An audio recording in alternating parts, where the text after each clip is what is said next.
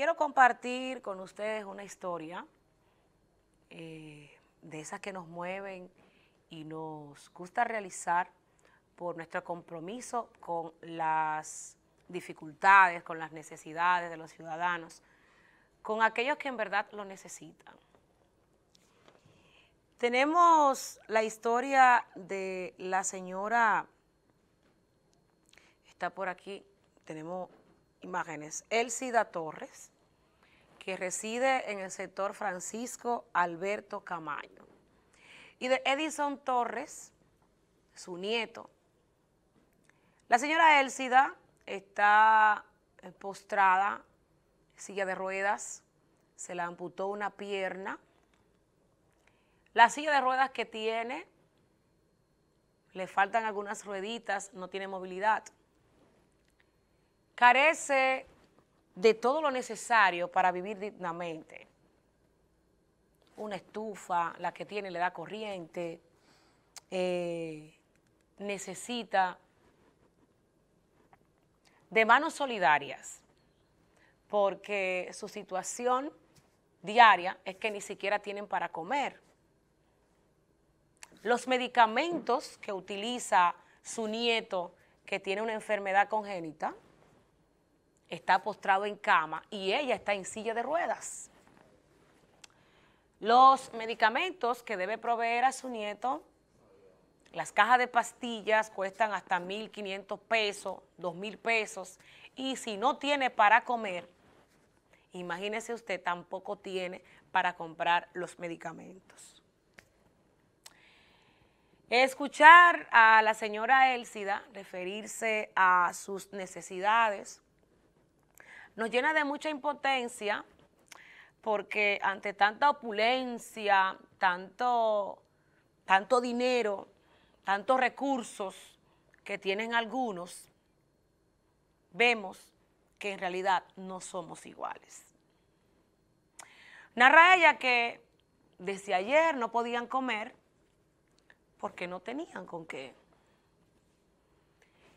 Y yo le invito a ustedes en este momento, a mis amigos, a mis conocidos, a seguidores de esta plataforma. Vamos a dejar el número de la señora Elcida y vamos a ayudarla. Vamos a conseguir una silla de ruedas. Pero también vamos a buscar medicamentos para este joven que sin esos medicamentos no puede estar porque es epiléptico. La madre de este niño lo abandonó y lo dejó ahí donde su abuela. El padre murió en un accidente de tránsito. Pero hay otra situación y es que el niño ni siquiera está declarado. No tiene un registro de que existe civilmente. Tiene 22 años y Edison no tiene nacimiento. También ella dice que necesita que le ayuden a declarar a su nieto. Vamos a escuchar a la señora Elcida. Bueno, la situación mía es que necesito que me ayuden con este niño, que me ayuden con eso, que eso se me mete agua para acá de la casa, cuando llueve eso es un chaico para acá.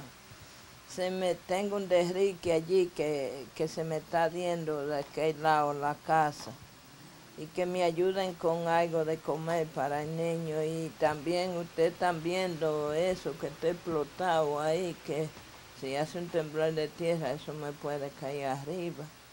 ¿Cómo ha sido este proceso con, con, su nieto en cama y usted también en silla de ruedas? Yo tuve un accidente y el carro se fue, yo iba a cruzar y me chocó y se fue y la gente me recogió, me llevan al hospital y me, ahí me dieron auxilio, me ayudaron a llegar a como yo estoy, así.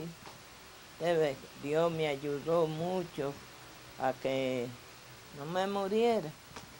El carro se fue y después la mamá de él vino a traerle el niño y papá lo dejó aquí y y yo me quedé con ella, estaba atendiéndolo con ella, así. ¿Cómo usted se hace? ¿Cómo usted se mantiene para...? Ah, bueno, la gente me dan y los hijos míos, tengo tres hijos que ellos no, los que trabajan en construcción, uno, es un solo varón tengo y dos hembras que están igual casi que yo, peor que yo. Ellos me dan de a 200, 300 hoy. No tengo yo nada para darle al niño, nada. ¿Qué consume el niño? El niño yo le doy jugo. Miren, esa es la situación que quiero compartir con ustedes. Debajo de, de las imágenes aparece el número a quien usted tiene que llamar, a la señora Elcida, al 809-663-3749. 809-663-3749. No queremos dinero en efectivo. Porque ahorita los delincuentes ven que le dan un dinerito y hasta la matan. Porque me dice que hay situaciones en ese sector y que muchas veces van a resguardarse en su vivienda.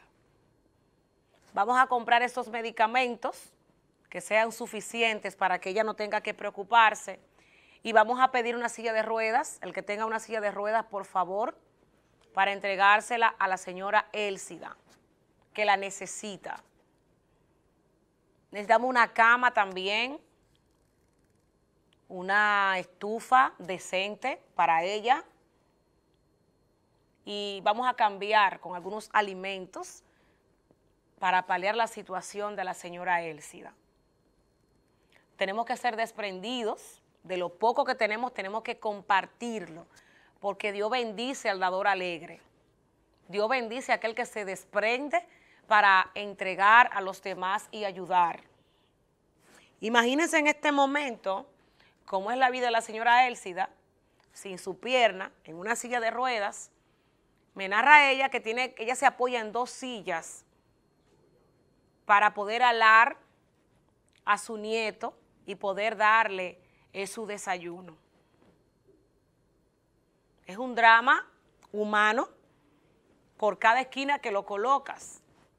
Entonces, políticos, miren, aquí es que debe empezar la verdadera obra de ustedes demostrarle al pueblo que están dispuestos a hacer mucho por quienes lo necesitan. Tenemos una llamada, buenas tardes.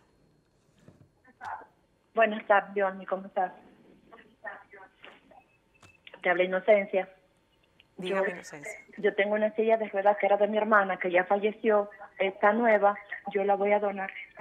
Tráigala aquí a Telenor, desde que usted tenga un chance, para entonces hacérsela llegar a la señora Elcida. Ok. Gracias.